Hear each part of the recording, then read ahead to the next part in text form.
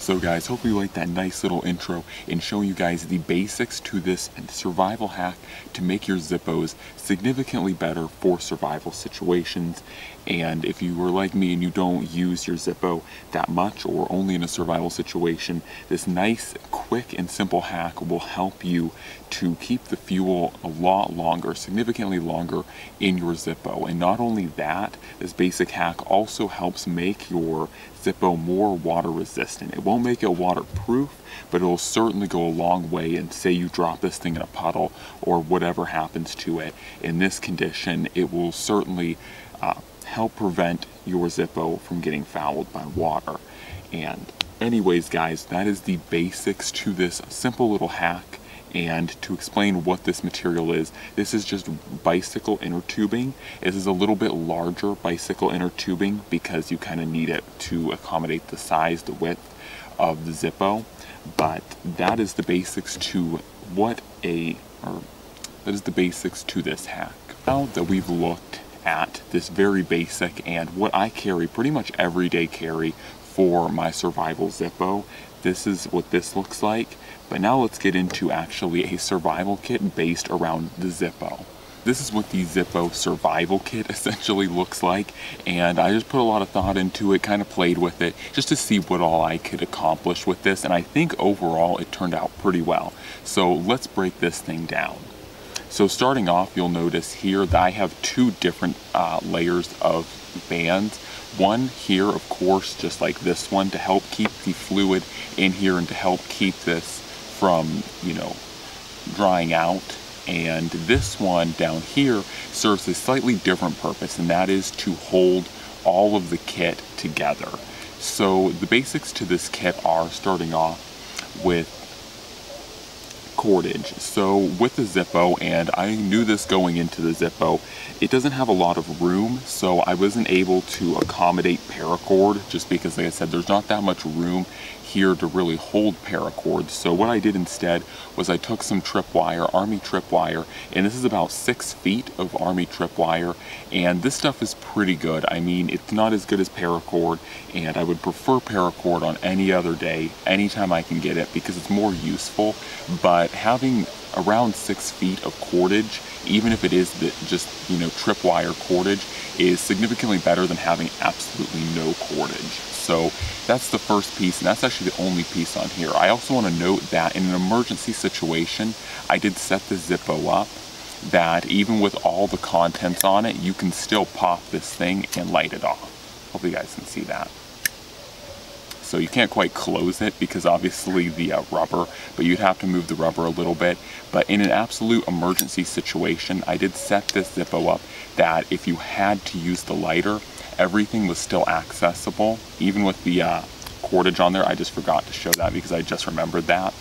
But anyways, I did want to note that uh, because I wanted to make sure that, you know, especially if say your hands are cold or whatever, for whatever reason, you just needed to instantly pop and light it, um, you can definitely still do that even with this entire kit on it. So the next parts are all on this side and one that I just kind of threw in just for the fun of it was just a simple pair of tweezers. I can get them out of here. Just a simple pair of tweezers. Uh, and like I said, there was just a little bit of room. I thought I'd throw them on there for the fun of it. Next part is a Tops whistle. I really like using the Tops whistles for a lot of my survival kits because they're very, very flat and they lay flat against things, unlike things like the Fox 40 Micro, which is a great whistle, but uh, it's just really round and it doesn't like to sit well when it needs to sit flat. The next part is of course a ferro rod. This is a 5 16 just blank rod for ferro rod. And you can pair that with the tweezers as a striker to get some striking. And once again just having a little bit of redundancy with fire lighting. You never want to be solely betting on the lighter to work and so in this kit I wanted to make sure that I had some extra source and of course this ferro rod if nothing else this ferro rod if it gets wet it can still strike and still make fire. So the next part of course now we're down to the base is this little piece of rubber banding. This is of course what held this entire kit together. Uh, and now to other cordage. So once again, I knew that working with a Zippo, I worked, you know, this is such a small space that the land here available to use for adding cordage. And cordage is one of the hardest things to add to a survival kit because you want lots and lots and lots and feet of it, you know, but it can be really hard to find the real estate for it. So what I did was, in addition to the six feet of tripwire, I also added six feet of 100 mile an hour tape but 100 mile an hour tape in its stock configuration is nearly as large as the Zippo itself.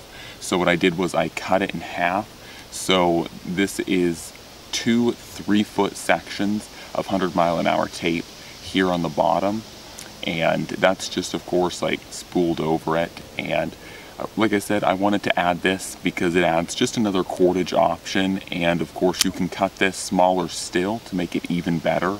So that is the basics to this entire kit. It's pretty basic. I didn't want to add too much just junk to this kit. I wanted to keep it simple and like I said, one of the big things I wanted to continue to do was with all this kit on, still be able to spark the lighter and still have it work so that if you had to, you could still start fires with all this stuff on there. And so that's another reason why I kind of kept it a little bit more minimalistic. It's just so that I could still attain that goal. So anyways guys, hopefully you enjoyed that look at that nice little Zippo survival kit and if nothing else, hopefully you guys saw the hack on how to make a really awesome, very basic mod to your Zippo that will really help you in the future. As always guys, don't forget to comment, like, share, and subscribe if you're not already and want to see more awesome content. And that's all for now. I'm out.